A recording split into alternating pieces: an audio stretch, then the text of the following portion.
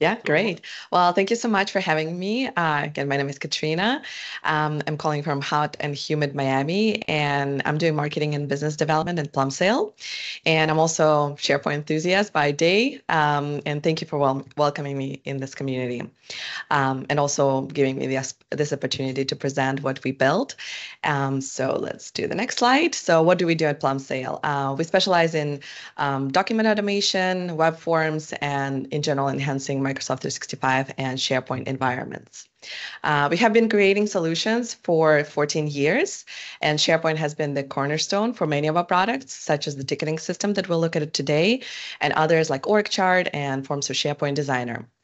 Um, we really value SharePoint's flexibility and it c- encourages collaboration, uh, gives you the ability to collect all the digital business resources in one place. And today I'm happy to have a chance to present the ticketing system um, that was designed specifically for SharePoint Online. It's called Help Desk. Next slide. And we first launched it almost 10 years ago. Since then, both SharePoint and our help desk have gone through quite an evolution. And we do choose um, so why did we choose SharePoint? That's probably the, the main question, right? The undeniable factor is that SharePoint integrates natively with a lot of tools like Outlook, Microsoft Teams, Power Automate, and it has very um, great functionality and familiarity that many users value. And it would be relatively easy to create and manage a small ticketing system using already available built-in SharePoint features. For example, we can use Microsoft Form for ticketing submissions, then add some automation using Power Automate, store tickets in a SharePoint list, and maybe create some internal documentation for reference. And this time of this type of no-frills solution will work great for smaller teams. But how can this uh, concept be scaled for teams that need um, to efficiently manage a high volume of tickets with many agents involved? And this is exactly why we um, created this ticketing system. So let's jump to SharePoint. We'll start from the ticket submission uh, side where the user will go in and into the self-service portal and they can um, create a ticket. Um, they can also track existing tickets, both active and solved. Here we go. I don't know, it's a little slow for me, but bear with me. And this is um, a widget that you can embed on any SharePoint page. For example, it could be just like a hub in, in our case. Um, so another tab that we have here, and it's a brand new feature that we introduced is uh, Knowledge Base. It's designed to provide more resources for end users, um, like useful articles, FAQ, um, so the end user can browse it, search it, and maybe they don't even need to create a ticket. So, but let's create a test ticket. For example, we can do need help and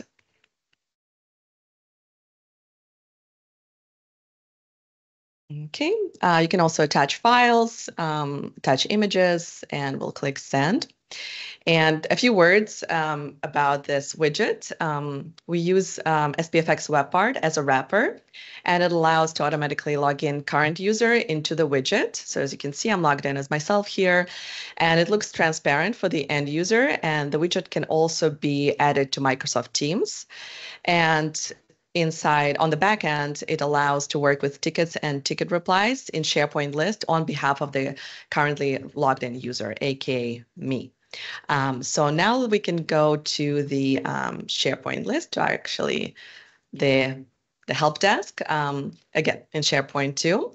Um, by the way, quick uh, quick mention that um, in this demo I'm showing it as um, SharePoint based only, so like servicing just internal users, but it you can um, service external users by we have a same widget that can be embedded just on a public website. So just a quick caveat. So let's look at our um, ticket list. As we can see, there's um, quite a few tickets open and we have our new ticket need help right here. Um, so we used SPFX customizers uh, to improve the ticket list look. So we have the status field uh, with um, four different statuses. So new, obviously in progress is when uh, agent is working on a ticket. Pending is when we are pending an answer from the requester and solved tickets. Um, these field customizers allow us to direct agents' attention to important values. And um, also, I would like to note that since SharePoint customizers are retiring next year, um, and I believe they will be replaced by column formatters, we plan to migrate to format format, sorry, column formatters as well. And let's look at the SLA policy um, field here. Uh, it is designed to track agents' response time and escalate unresolved tickets. Uh, we can set up multiple SLAs um, on the back end to track tickets priorities, um, like priority column, status column, and other factors. And each SLA policy can have its own time frame for agent to reply and for the ticket to be resolved, like the total time of the resolution. And SLA field is calculated by help desk change tracking subsystem or webhooks. Um, so when a ticket is created, edited, or a new comment added. And we're also able to use SharePoint site regional settings, uh, the workweek section, to determine the SLA. So these are actually uh, specific business um, days and hours. And again, we use the um, SharePoint field customizer to be able to see if a SLA has failed, like in this case. Um, so it's, if it's a green background, it means it's all good. Agent has plenty of time to reply to ticket, and they can see exactly how many hours and minutes. Um, then we have the orange, um, which is which means danger zone, and there's less than 30% time left for the agent to answer the ticket. Um, then we have the red, red background, which means yes, SLA failed, as I mentioned, and the agent didn't reply on time. And um, you, we also can see um, how many hours have passed since it's failed. Um, another Another status here will be the pending, which means that, again, we're waiting for a reply from the um, requester. So we just get a uh, pause icon so the SLA is not tracked. And um, also this SLA um, data um, goes into the reports, which is available um, from the ticketing system too. And in general, you can use the default SharePoint uh, list features, such as we can filter the, um, the list, we can sort by particular field, we can add a new view. Um, so also version history, this is all available. So let's open one of the tickets that we have. For example, we can do this one. So let's see. Um, so this um, this ticket form has been modified using our other product, Forms for SharePoint. And as you can see, it opens as a panel using list view command sets. Um, and in this form, support agents can answer the tickets, review all the answers from the requester. Um, they can also view some uh, or add different statuses, um, add people here, um, define the priority, etc. So this all can be done inside um, this ticket.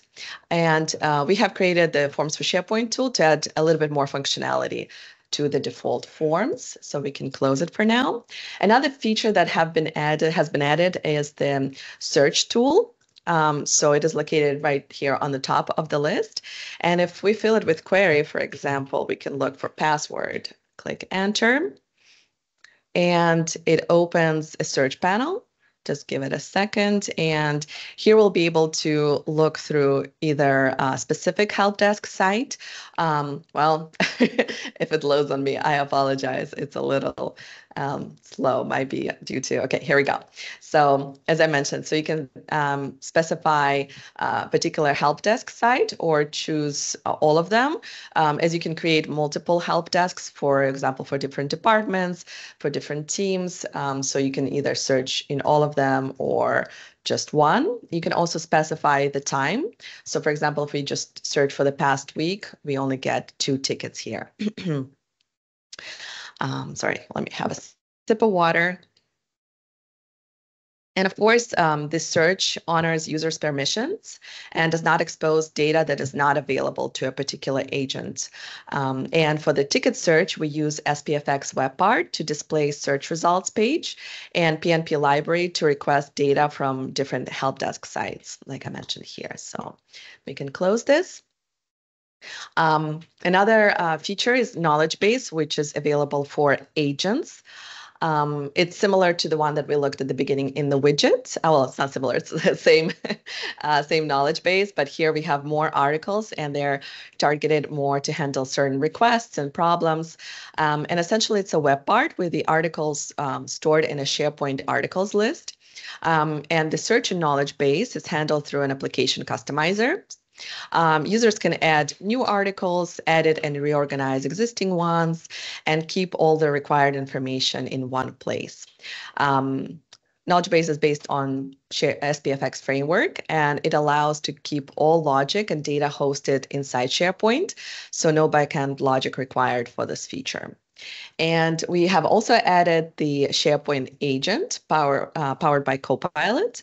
Um, so we have installed a couple. So let's switch to the help desk. Um, as you can see, a couple of prompts are already um, visible here, but let's look at settings, edit agent. And in the sources, we have specified the document library where the agent will be pulling the answers from. Um, and in the behavior, as I mentioned, we set up a couple of prompts that um, agents can use, well, the users can use.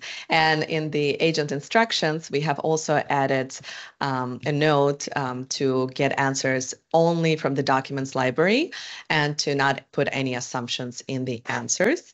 Um, and I think it's great to mention um, that the SharePoint agent is great for not just like a search tool, but it can target very specific subsets of documents and can create different um, different agents um, to answer specific problems. So let's ask it a question. For example, can I use help desk widgets on a public site? Click enter. So it will search um, for a little bit and we should get the answer briefly. Um, here we go. So we got our answer based on the documents uploaded in the library. And we can also ask follow-up questions. So um, in a nutshell, that's uh, the features that I wanted to show how we use the, um, the SPFX framework to build a more complex ticketing solution. And I hope it gave you um, a general idea what, what is possible. Um, and um, Help Desk in general provides a structured and visual experience for both agents and requesters within SharePoint. Um, and as you can see, we fully leveraged SharePoint's built-in features and framework. Um, and we've always we're always excited to see what um, new SharePoint updates, enhancements, and new features are coming, so we can implement them um, inside our products, such as ticketing system and other ones.